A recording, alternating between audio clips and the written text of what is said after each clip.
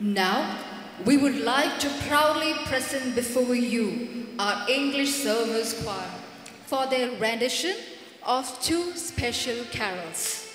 The first song, Beautiful Star of Bethlehem, composed by R. Fisher with his divine lyrics, reminds us to follow Jesus as a star in our life. Let us listen to the beautiful Star of Bethlehem.